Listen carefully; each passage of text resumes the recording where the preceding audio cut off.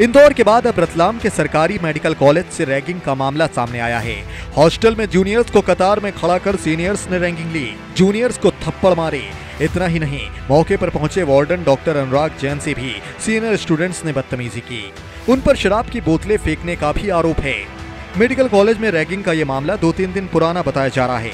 और इसका वीडियो अब इंटरनेट पर तेज़ी से वायरल हो रहा है। कॉलेज की अनुशासन समिति इस मामले में जाँच कर रही है। समिति ने दोषी इंजीनियर छात्रों पर कार्रवाई की बात कही है।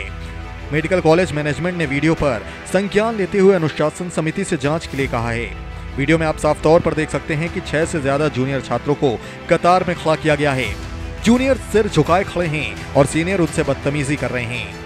बताया जा रहा है कि किसी छात्र ने ही चुपके से वीडियो बनाया और इसकी शिकायत की। शिकायत दिल्ली भी की गई है।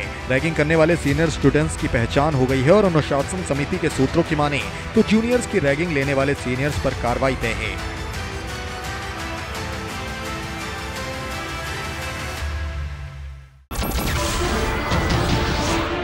नमस्कार, मैं हूँ मानक गुप्ता। अगर आपको हमारा ये वीडियो पसंद आया हो तो इसे लाइक और शेयर ज़रूर करें। और हाँ हमें सब्सक्राइब और फॉलो करना ना भूलें, ताकि आप देश और दुनिया की कोई खबर मिस ना करें। तो जुड़े रहिए हमारे साथ और देखते रहिए न्यूज़ 24